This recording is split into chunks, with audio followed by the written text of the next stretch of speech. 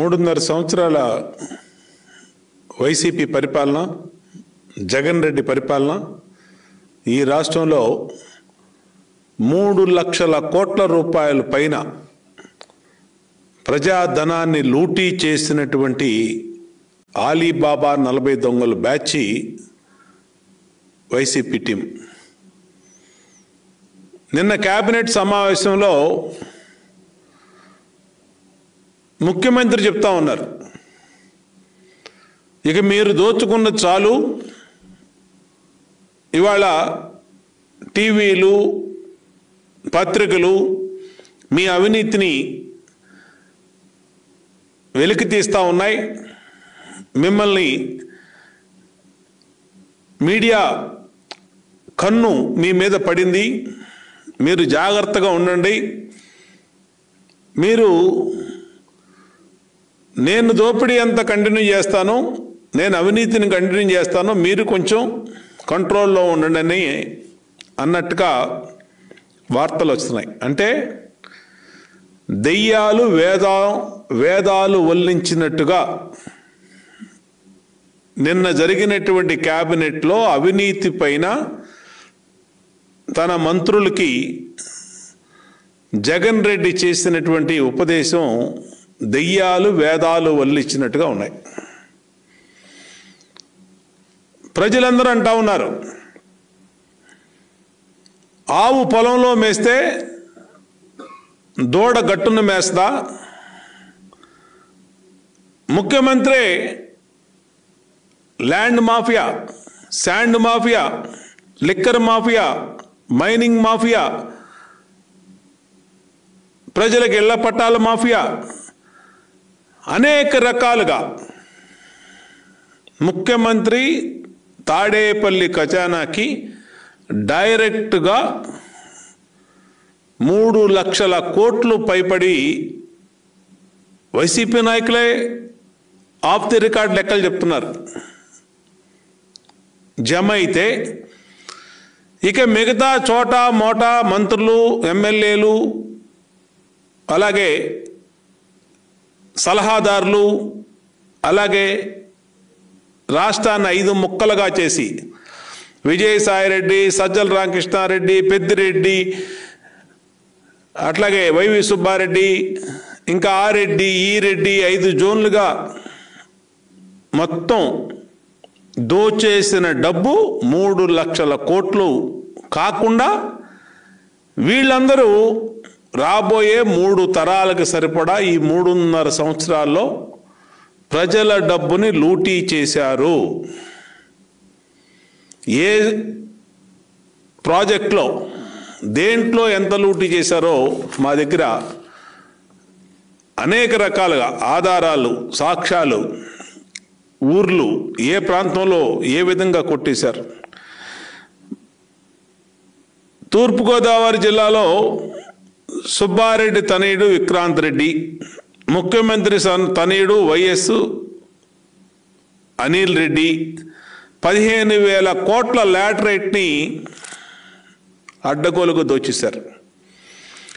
Vijayasai Reddy and J gang ఉత్తరాంధ్రలో నలభై వేల కోట్ల రూపాయల భూముల్ని దోచేశారనేది వాస్తవం కాదా? మేము సర్వే నెంబర్లు దస్పలా ల్యాండ్స్ కానీ అలాగే రిషికొండ కానీ ఫార్టీ ట్వంటీ టూ ఏ భూములు కానీ అట్లాగే చర్చ్ భూములు కానీ ఎంపీల పేరు మీద కొట్టేసినాయి ఎమ్మెల్యేల పేరు మీద కొట్టేసినాయి మంత్రుల పేరు మీద కొట్టేసినాయి వృద్ధాశ్రమాల ఆస్తులు కొట్టేసినాయి అన్నీ కూడా ఇచ్చాం. ఆయన ఏమంటాడు? నేను కాదు కొట్టేసింది నా కూతురు పెళ్ళి అయిపోయింది వాళ్ళు కొనుక్కుంటే వాళ్ళు కొట్టేస్తే నాకేం సంబంధం? నేను కొట్టేసింది కొంచెమే ఉందని డైరెక్ట్గా విజయసాయి రెడ్డే ప్రెస్ మీట్ పెట్టి చెప్పాడు. అంటే సకుటుంబ సపరివారంగా వైఎస్ఆర్ కాంగ్రెస్ పార్టీ నాయకులు అడ్డగోలుగా దోపిడీ చేస్తున్నారు. ఈ దోపిడీ మూడున్నర సంవత్సరాల్లో ప్రజలు కనబడింది. పత్రికలు ఘోషిస్తూ ఉన్నాయి మీడియా ఘోషిస్తూ ఉంది కానీ తాడేపల్లి మాత్రం ఎక్కడా కూడా ఉలుక్కు పలుకు లేకుండా ఉంటుంది. ఇవాళ భూముల పేరు మీద విశాఖలో నలభై వేల కోట్లు విజయసాయిరెడ్డి తోచేశాడు ఇరవై ఐదు వేల కోట్ల భూములు మిగిలినటువంటి నాయకులు రాష్ట్రంలో దోచేశారు. శాండ్ మాఫియా మీద ఎవరు Shekar Reddy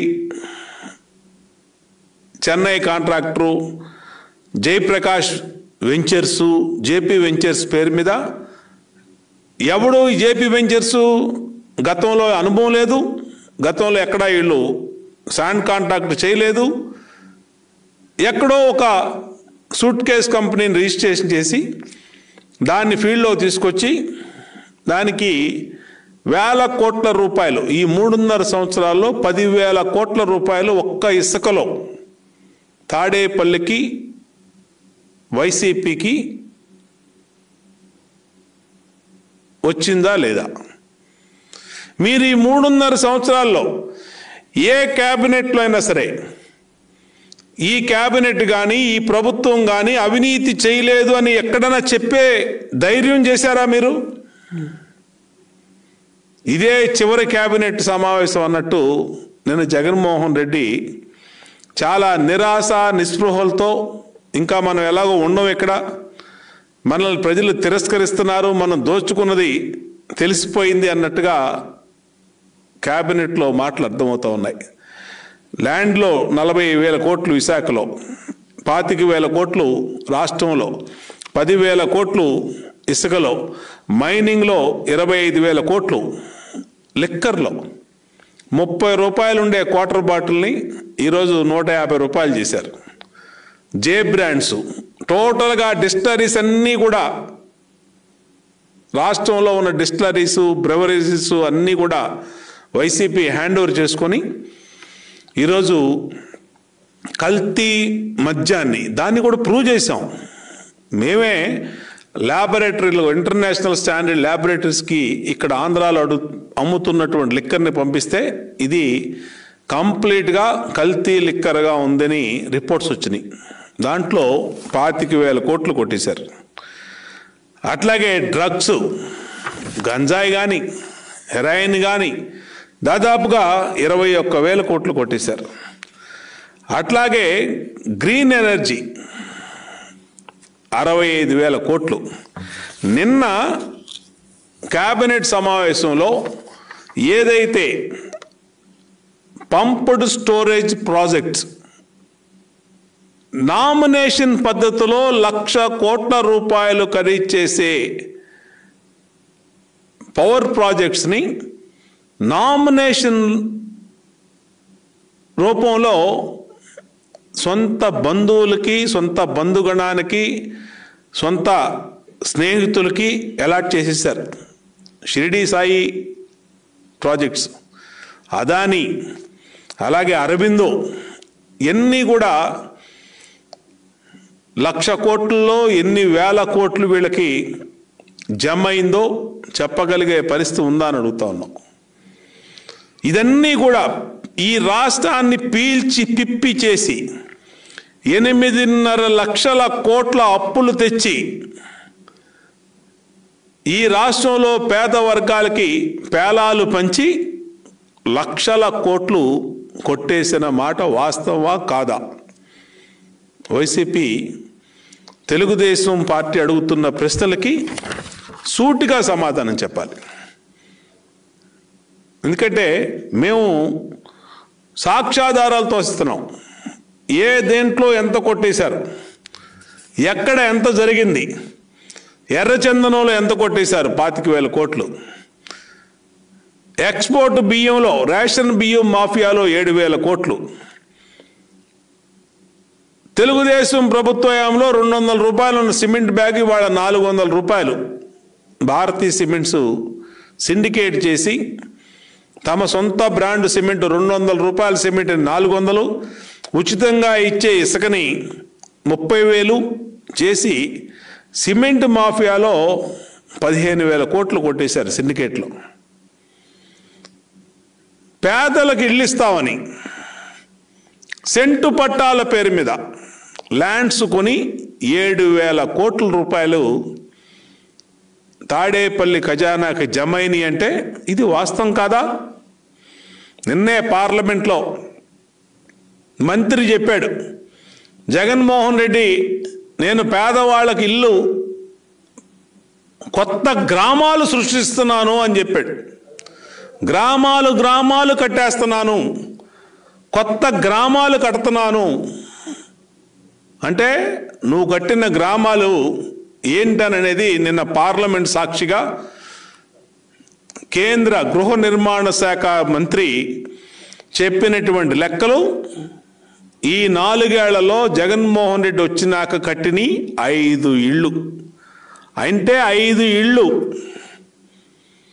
ఐదు ఇళ్ళు ఎవరికి ఇస్తావు జగన్ రెడ్డి అని అడుగుతా ఉన్నావు నువ్వు నాలుగేళ్ళలో కట్టిన ఐదు ఇళ్ళు కాదా? పార్లమెంట్ సాక్షిగా చెప్పలేదా? పేదవాళ్ళ పట్టాల మీద సెంటు పట్టాల మీద ఏడు వేల కోట్ల రూపాయలు ఐదు లక్షలకి పది లక్షలకి భూములు కొని డెబ్బై లక్షలకి ఎనభై లక్షలకి ప్రభుత్వం నిధులు డ్రా చేసి నువ్వు కట్టిన ఇల్లు ఐదు ఇల్లు నేను చెప్పలా. భారతదేశంలో అత్యున్నత సభ పార్లమెంట్ చెప్పింది.